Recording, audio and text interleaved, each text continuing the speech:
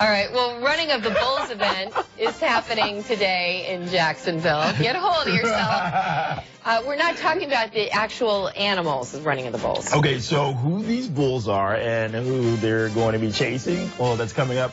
But first, a major consumer alert for Ford